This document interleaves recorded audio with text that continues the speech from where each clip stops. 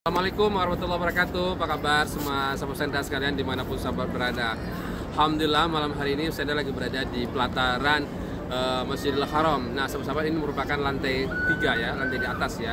Jadi kalau penuh sholat di bawah maka sholatnya di atas. Nah kebetulan saya lagi sholat bersama Ustaz Amka Nah ketemu Ustaz Radit. Assalamualaikum Ustaz Assalamualaikum. Apa kabar Ustaz? Sehat ya? Tadi pagi kami ketemu, tapi malam ini ketemu lagi nih, masya Allah. Itulah itulah Allah ya. Gak sengaja. Ya, nggak sengaja, tanpa janjian, tanpa apa-apa, lalu kita ketemu di pelataran lantai tiga. Nah, Mas Bro Ustaz, Uh, Raid Ustaz. Ustaz Roid ya. Roid. Ustaz Roid, eh, masya Allah luar biasa. Ustaz Roid bin Al bin K Haji eh, Ihsan. Jadi Ustaz Roid ini adalah eh, putra eh, Guru Sendra eh, Kiai eh, Haji Muhammad Ihsan ya. Jadi guru kita bersama pimpinan pondok pesantren Masya Allah Ngabar Ponorogo. Kalau boleh tahu putra keberapa Ustaz? Putra keempat? Putra terakhir. Putra terakhir ya. Terakhir. Nah, sahabat-sahabat kalau sahabat-sahabat ngabarian kalau lihat wajahnya Ustaz Roid mirip-mirip siapa ya? Mirip Pak Kiai Ihsan, Pak mirip Ibu. mirip Ibu. nah, Ustaz, kalau boleh tahu dari ngabar dulu selesai tahun Tahun 2019. 2019 ya. Eh, 2019 alumni ke berapa itu? Ke 53. 53. Nah, setelah itu lanjut ke Al-Azhar.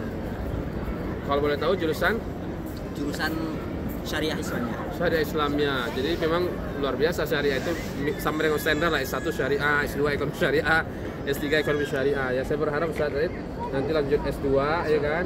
Lanjut S3 nanti jadi profesor yang nanti ke depan adalah di the next generation of ngabar lah kira-kira ya. Doanya Ustaz. Ya jadi ini jadi pelanjut eh, sejarah cita-cita ngabar ke depan lah bagi saya kira-kira gitu ya. Nah Ustaz ki- apa kira-kira eh, pesan Ustaz Rid untuk anak-anak muda yang belajar di eh, ngabar atau di banyak pesantren kira-kira? Eh, mungkin ini ya. Hmm. eh, kesempatan mondok itu kesempatan yang enggak datang dua kali. Hmm. Kami berpesan ya Tetap eh, semangat. tetap semangat, Hmm. digunakan sebaik-baiknya waktunya, kesempatannya. Terus juga jangan lupa doakan guru-gurunya juga. Insya Allah itu salah satu Kiat sukses ya. ya wasilah untuk hasil dalam belajar Insya Allah. Artinya ketika kita mendoakan orang lain kebaikan, maka kebaikan itu kembali pada Ya. diri Allah. Luar biasa. Keren, keren, keren luar biasa.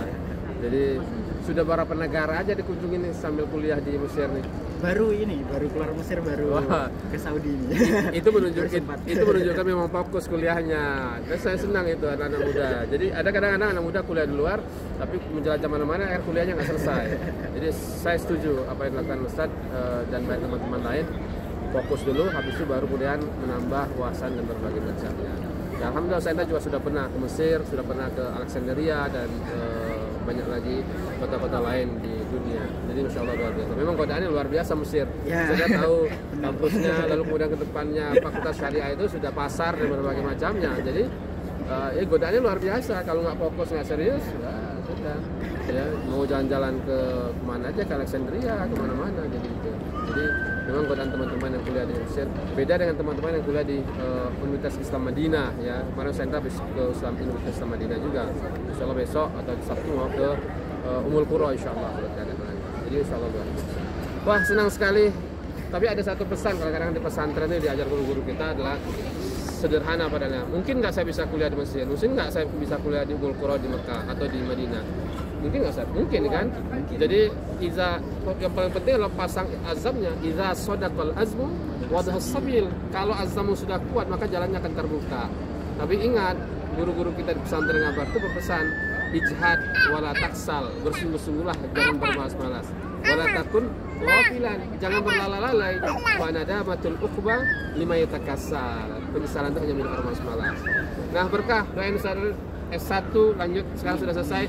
Lanjut S2 lanjut S3 pesan saya adalah lanjut S3 mumpung masih di luar negeri dan kesempatan itu masih ada insya Allah jangan pulang dulu lah. Aduh, berkah. Senang sekali ketemu. Salam apa, Ustaz? Salam ngabar. Salam ngabar. Salam. Salam santri dari pelataran Masjidil Haram di Mekah, Al Mukarramah. Saya doain juga sahabat-sahabat sekalian, terutama sahabat-sahabat ngabarian eh, yang punya azam keinginan untuk bisa berhaji, berumrah bersama keluarga, Allah izinkan untuk sampai ke tempat ini. Barakallah. kita doakan mudah-mudahan ngabar tumbuh berkembang terus para kiai sehat dan guru-guru sehat sama keluarga dan juga para santri juga sehat dan teruslah menebarkan indahnya Islam dan ke seluruh penjuru dunia. Insya Allah ngabar keren, ngabar top, ayo ke ngabar, ayo yang tadi ke ngabar, tapi ayo kuliah ke banyak negara di seluruh dunia. Barakallah, salam hangat kami berdua dari pelataran Masjidil Haram. Assalamualaikum.